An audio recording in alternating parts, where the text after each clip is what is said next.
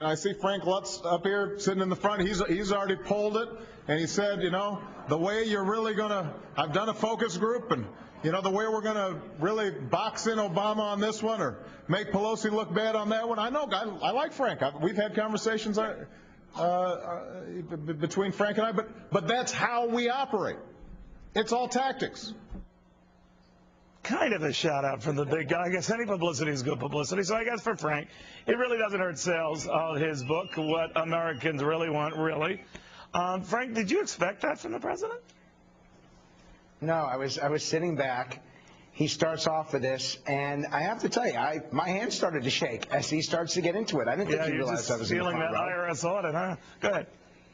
And and everyone has come up to me and said the same thing, but that's why I'm safe because so many people assume I'm going to be audited by the IRS. But you know what? He's got a point there. I really was sitting in the front row to listen exactly to what he said, to pay attention to the tone, to look at the body language. Neil, I work for more than two dozen Fortune 500 companies, and I'm amazed how many researchers in my profession actually don't pay attention to these things.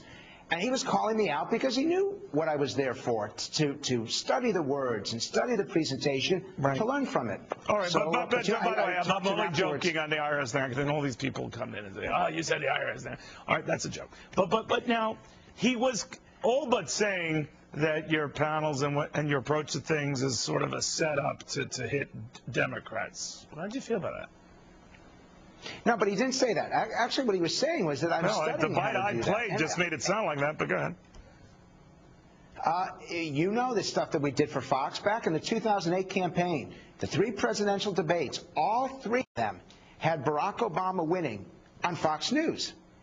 And we still ran it. The, the, the, the Fox network spent six, eight, ten minutes on that stuff.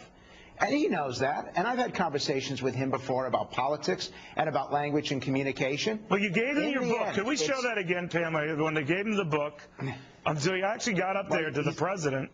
Um, and what, what was going on? What were you guys talking about? Uh, we were ta- he says to me that this is going to be great for business. And I said, it may be great for business, but I, don't, I got a whole lot of Republicans sitting behind me right now, and I don't know what they're going to do to me when I turn around. So you gave him the Uh, book, and and, what did he do with the book? He, he gave it to uh, Reggie Love, and he said, I'm going to read it. I'm going to read it in the next few days. Do you think he will? he's interested in language. He's a good communicator. I know he's a good he communicator. He- the power I'm telling you, he will not read your book. He's not. He won't? Nope. You, you just broke my heart. He I'm was sorry. so much nicer to me than you are. No, well, hey, uh, look, I'm just telling you, he won't read it. I think he does respect you, though, but he's not going to read your book. Well, but let, let's let's do do one aspect of, of what he said to Republicans today, because I think it's important, based on what he said in the State of the Union address. The American people want accountability. They want the president and the members of Congress to be able to work together to get things done, and they want to know that what you say is what you mean.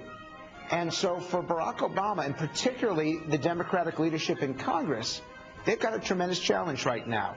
Are they going to get things done for the public, not ideologically, not politically, but actually, in a, in, a sense, common sense? That's what the American people are looking for. And one more thing, Neil. If any of the people, any of your viewers right now want to participate Oh, in one no. of these Fox News focus groups and get the chance to be heard, all they have to do is go to theworddoctors.com, Oh, theworddoctors.com, All right. and they can sign up. All right. Um, well, that's good stuff. And I, you know, I'll tell you, I give the president credit for going into the belly of the beast, talking to these guys. That's it. That, that was that was pretty tough to do. He did it. So, you know, spoke to you, with But you. the real winner today, by the way, The American real winner people. was Paul Ryan. Paul Ryan. Paul Ryan challenged the president on health care, on the budget, on Medicare. The president listened respectfully. They went back and forth a little bit. Congressman from Wisconsin, in- brilliant. Chaffetz too. Chaffetz asked some was- good questions. Exactly. I think it was. I think it was good for everyone. I think the Republicans. But you sold more well. books. You I- sold more books today. But what it's really about, Neil, Are is the, book American sales. people. Yes, indeed. All right. Um, Frank, you're good. You're good at what you do. Uh, Frank Luntz, the master, the maestro. Thank you. All right. Well, Terrace.